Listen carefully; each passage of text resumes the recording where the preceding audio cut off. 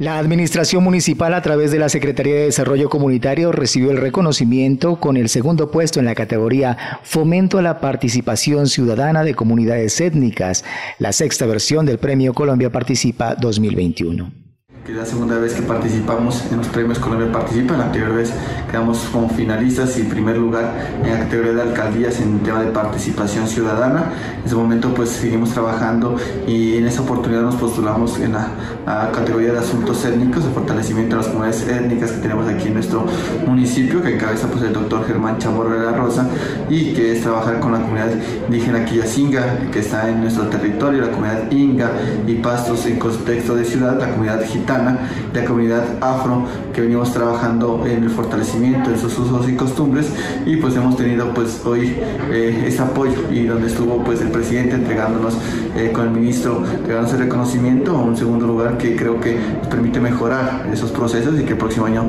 tendremos ya mejores iniciativas de fortalecimiento a las comunidades étnicas.